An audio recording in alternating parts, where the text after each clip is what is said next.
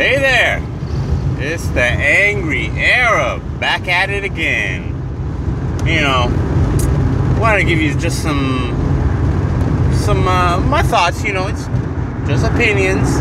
Although you know I'll be labeled angry and stuff like that because of them. Anyways, I actually just wanted to touch on how it's theology and philosophy of a man or a woman that dictates their their personality, who they are, you know, who what what you'll end up getting from them. Now, we live in this in this world right now. We are in a fallen state. We got to understand the problem of man. You know why there's wars, fighting, stealing, killing, murdering, raping. We are in a fallen state. You see it more every day how, you know, right now evil just seems to be growing right now. It's just, you know, people, men's hearts are giving in to that sin nature. They're just giving into it. No longer really fighting over it or fighting against it. Just giving in. Now, when it comes to like your different uh, theologies, the, the theology or lack thereof that you put yourself in, if you're an atheist, or you know, usually atheists will end up, you know, driving towards evolutionism. So they no longer believe in a God, you know, because usually, you know, when people believe in God, you know, they know he's the judge. They're gonna, you know, God is gonna end up judging them for their lives. So being the atheist uh, mentality, you take away the judge you just say, I can live my sinful ways and not give a damn what's gonna happen to me when I die. Because when I die, I'm just going in the ground six feet under. That's it.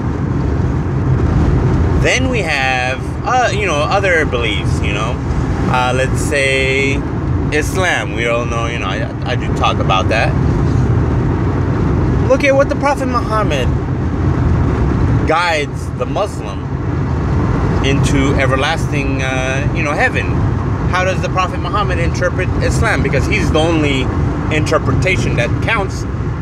No one else's interpretation, only the Prophet Muhammad's. If you don't agree with me, then you are committing a, an unforgivable act. Because in Islam, I'm sure every Muslim would agree that the only interpretation of Islam is the Prophet Muhammad's. Go to one of my first videos, first uh, or second video in my uh, series, and you'll see just what type of uh, surahs that the Prophet Muhammad dictates to his um, followers. You'll see that it's one of hate, murdering, raping, justifying the evil will of men and granting you heaven with it. Then we have other things like, you know, Buddhism, you know, you could, or uh, what is it, Hinduism. You could find your inner inner light, become your inner God, something like that. It's like you, you, you find your inner peace. You go within to, to have it grant you, you know, that um, that spiritual nourishing that you know every human needs. We all need that spiritual um, nourishment, that food. God gives it. God de- definitely gives it, but people don't, you know, really go towards, you know, the Christian faith because they think, ah, it's outdated. Ah. But you know, the thing is, God's word is true yesterday, today, and tomorrow. He is the same the Old Testament, the same in the New Testament. If you understand what he's all about. I know there's a lot of a lot of atheists especially. They're very good at attacking the Old Testament. I already know a lot of their arguments, but you know, take for example the argument, hey, why did God flood the earth? What the heck, man? He flooded the earth because uh, they were bad? It's like, you gotta understand, fallen angels came down to earth mated with the daughters of men, created Nephilim, these disgusting hybrid humans that had no vessel to allow the Holy Spirit to go in them. God could not go to them. God, well, not, not the Holy Spirit. The Holy Spirit wasn't given until Jesus uh, rose from the dead. But what I mean is, the Spirit of God was not in these Nephilim. They had the spirit of the fallen angels.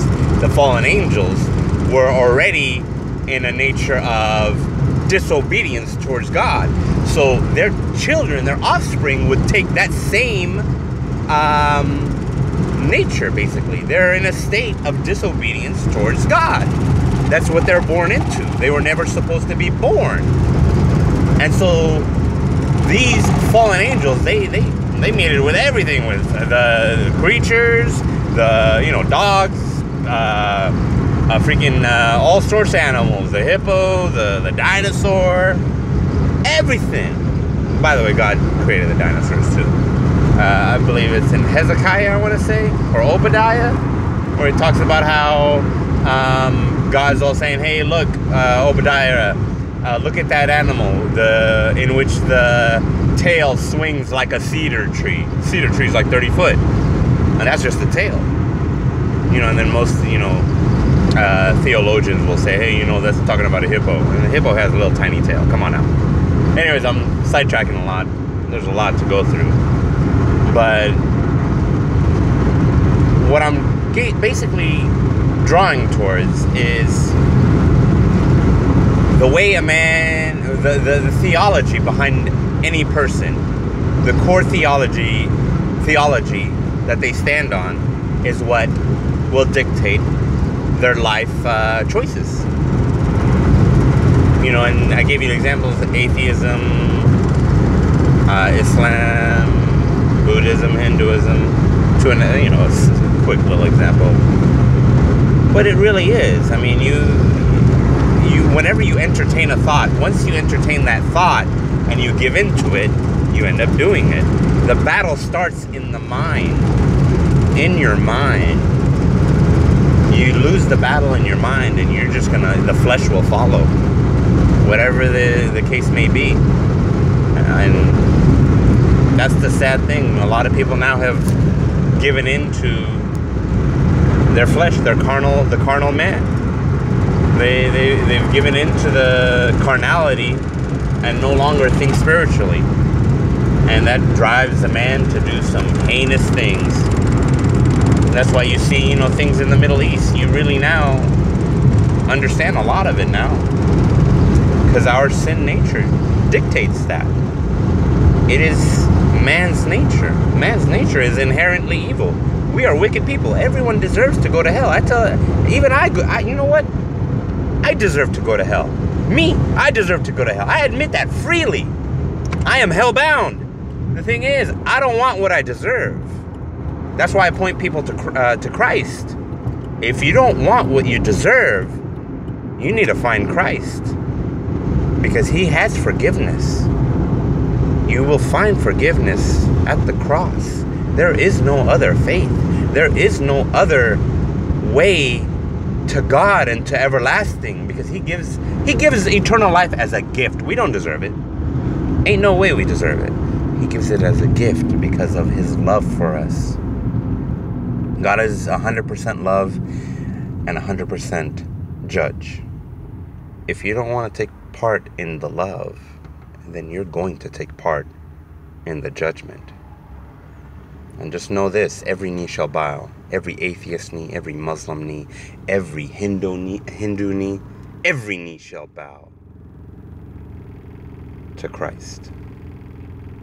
Bow now or bow later, but your knee will bow your knee will bow. I guarantee it. Take care.